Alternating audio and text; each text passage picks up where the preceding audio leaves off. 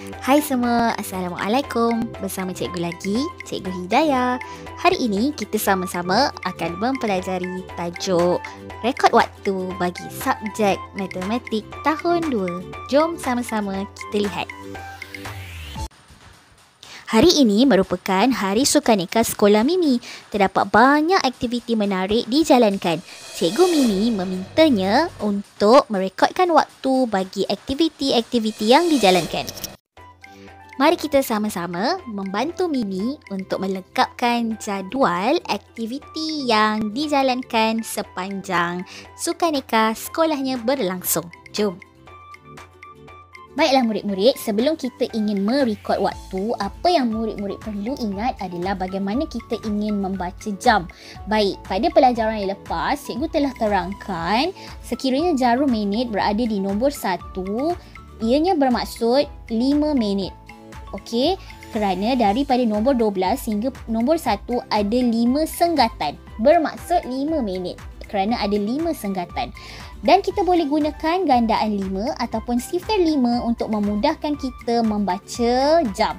Baik, di sini sekiranya jarum minit berada pada nombor 1, ianya adalah 5 minit sekiranya berada pada nombor 2 10 minit. Dan seterusnya 15 minit 20 minit 25 minit 30 minit 35 minit 40 minit 45 minit 50 minit 55 minit dan 60 minit.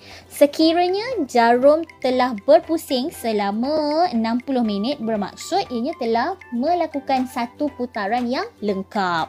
Baik mari sama-sama kita bantu Mimi untuk merekod waktu Baik, pada pada waktu pagi telah diadakan aktiviti senaman. Mari kita lihat pukul berapakah aktiviti itu berlangsung.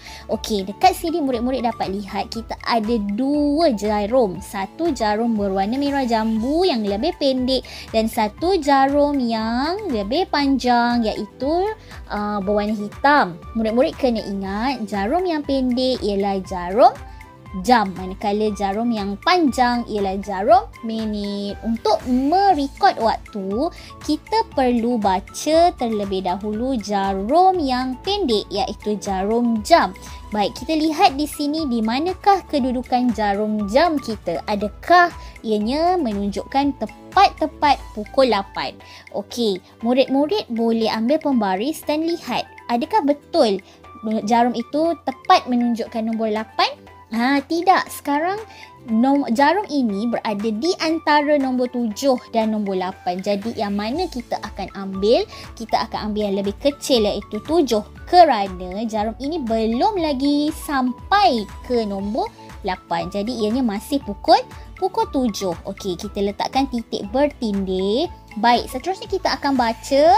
Baik, ini untuk jam ya. Dan kita akan bacakan minitnya. Kita akan bacakan minitnya berada di nombor 9. Cuba ingat gandaan 5, 9 darab 5, 45. Oleh itu, aktiviti ini berjalan pada waktu pagi. Kita akan nyatakan ianya adalah pukul 7.45 pagi. Aktivitinya adalah senaman. Okey, kita lihat yang seterusnya.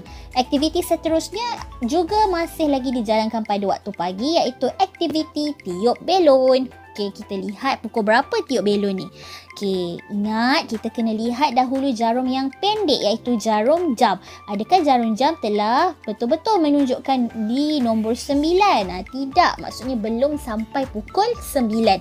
Masih lagi pukul 8. Okey, letakkan titik bertindih dan lihat jarum yang panjang. Jarum minit berada di nombor 6 bermaksud gandaan 5 6 darab 5 30 ha, jadi pada waktu pagi kan?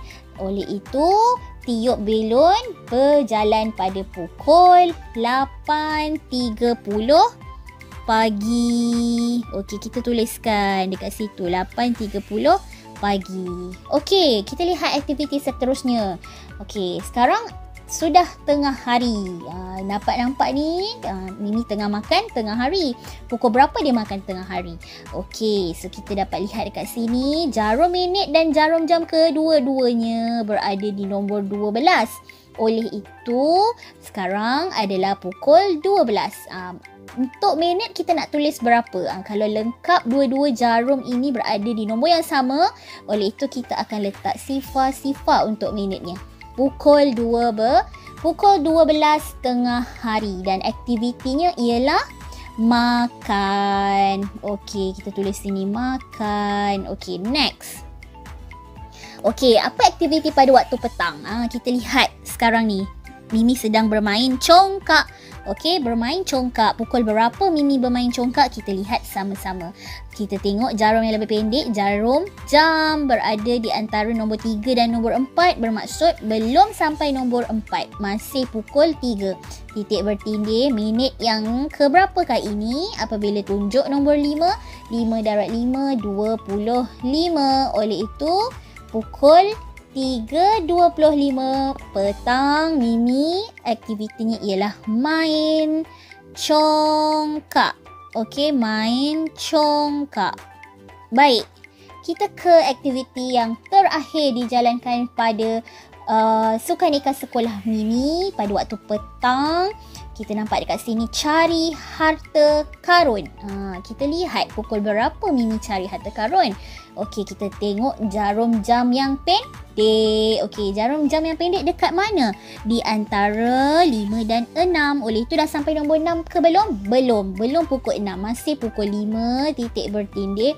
Jarum panjang, jarum minit dekat nombor 4. Gandaan 5, 4 darat 5, 20. Oleh itu, pada pukul berapakah Mimi mencari harta karun? Pada pukul 5.20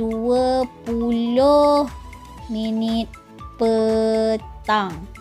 Okey, pukul 5.20 petang. Okey, nampak di situ? Uh, kita dah lengkapkan Mimi punya rekod waktu untuk sukaneka sekolahnya. Baiklah, cikgu harap anda semua jelas dengan penerangan yang cikgu berikan pada hari ini. Selamat belajar.